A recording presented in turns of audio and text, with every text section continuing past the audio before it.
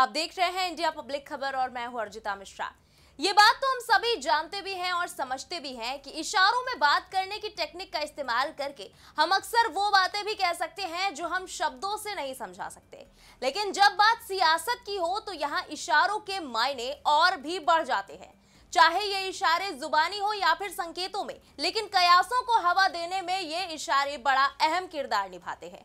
और कुछ यही हो रहा है इस वक्त बिहार में, जहाँ इशारों इशारों में ही बड़े सिग्नल देखने को मिल रहे हैं। और ये इशारे इस वक्त चल रहे हैं जेडीयू चीफ नीतीश कुमार और आरजेडी नेता तेजस्वी यादव के बीच में। और तो और इन इशारों में अब कयासों को हवा मिलनी एक बार फिर शुरू हो गई है कि क्या नीतीश कुमार वाकई बिहार चुनाव से पहले पाला एक बार फिर बदल सकते हैं।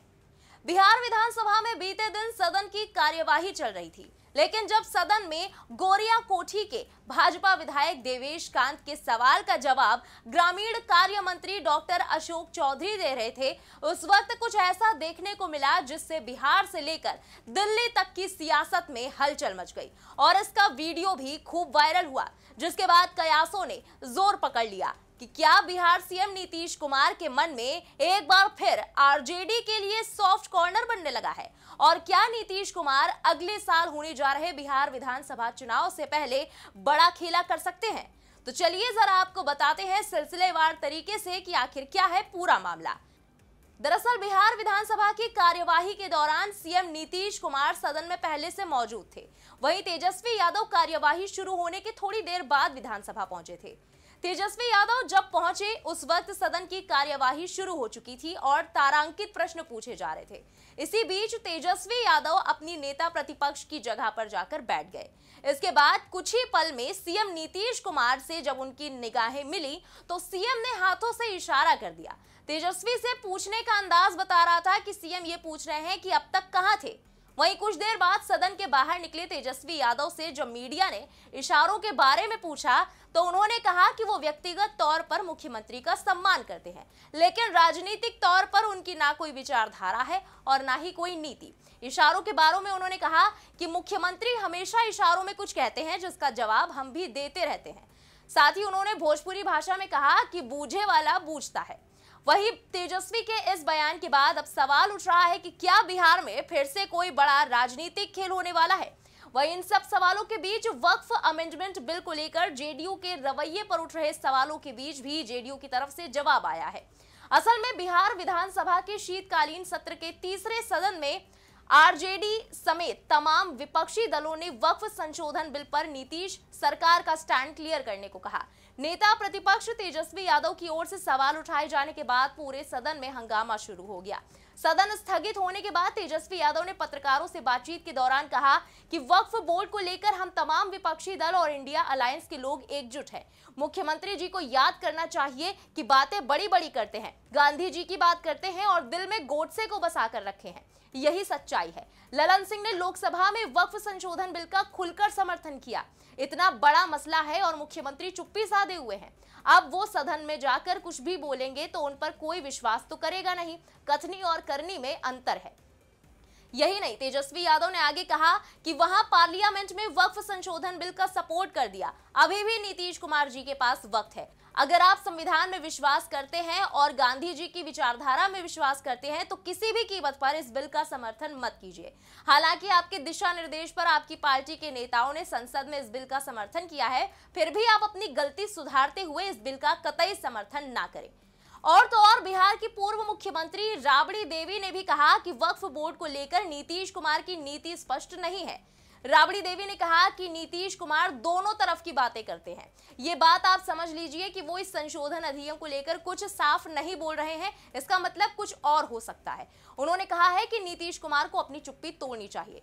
राबड़ी देवी ने कहा कि अगर नीतीश चुप हैं तो माना जाएगा कि इस बिल के विरोध में है, लेकिन उनके नेता बिल का समर्थन कर रहे हैं। इसका मतलब है कि नीतीश कुमार दोनों तरफ़ के माई बने हुए हैं। इस बिल को लेकर पटना में अल्पसंख्यकों के द्वारा एक मीटिंग बुलाई गई थी, लेकिन सीएम उसमें शामिल नहीं हुए थे। उनको जाना चाहिए था। हालाँकि दूसरी तरफ़ जेडीयू ने वक्फ संशोधन विधेयक पर मुस्लिम संगठनों की चिंताओं को सुनने का फैसला किया है। पार्टी ने साफ़ किया है कि वो इन चिंताओं को संसदीय समिति या सरकार के सामने रखेगी। जेडीयू के कार्यकारी अध्यक्ष संजय झा ने मुस्लिम नेताओं के साथ हुई बैठक की पुष्टि की है। संजय झा ने कहा कि जेडीयू मुस्लिम संगठनों से बिल के उन खास प्रावधानों के बारे में जानना चाहती है जिनसे उन्हें परेशानी है। इससे पार्टी उन मुद्दों को सही जगह पर उठा सकेगी।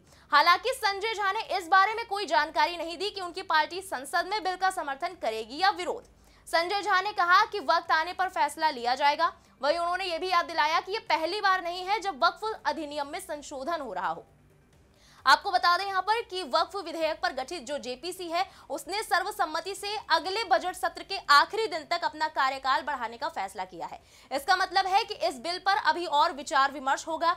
ये फैसला सभी सदस्यों की सहमति से लिया गया है। इससे ये भी पता चलता है कि इस बिल के कई पहलुओं पर अभी भी गंभीरता से विचार करने की ज़रूरत है।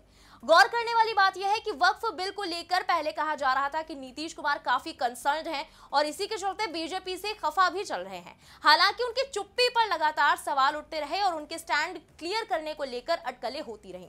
यहाँ बड़ी बात यह है कि नीतीश कुमार बार बार कहते आ रहे हैं कि अब वो एनडीए का साथ कभी नहीं छोड़ेंगे। वो कहते हैं कि कुछ लोगों के बहकावे में आकर वो आरजेडी के साथ चले गए थे। अब वो कहते हैं कि मरते दम तक एनडीए का साथ नहीं छोड़ने वाले। कई मौकों पर उन्होंने सार्वजनिक तौर पर भी बीजेपी और बिहार की जनता को यह भरोसा दिलाने की कोशिश की है।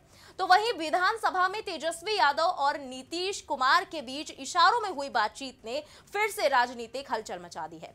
कुल मिलाकर देखा जाए तो बिहार में अगले साल विधानसभा चुनाव होने हैं। और उससे पहले नीतीश कुमार को लेकर तेजस्वी यादव के बयान के बाद से यही चर्चा शुरू हो गई है कि क्या नीतीश कुमार एक बार फिर अपना पाला बदल सकते हैं। बहरहाल, ये तो आने वाला वक्त ही बताएगा, लेकिन इतना तो तय है कि बिहार की राजनीति में ज़रूर अंदर अंदर कुछ पक रहा है। दोनों नेताओं के बीच क्या बातचीत हुई और क्या इसका मतलब रहा, ये तो फ़िलहाल साफ़ नहीं है, लेकिन इसने राजनीतिक गलियारों में हलचल ज़रूर पैदा कर दी है। ऐसे में अब सबकी निगाहें नीतीश कुमार के अगले कदम पर है कि क्या वो अपने शब्दों पर कायम रहेंगे या फिर से कोई चौंकाने वाला फैसला लेंगे। और वक्फ बिल को लेकर अब नीतीश कुमार का क्या स्टैंड सामने आता है?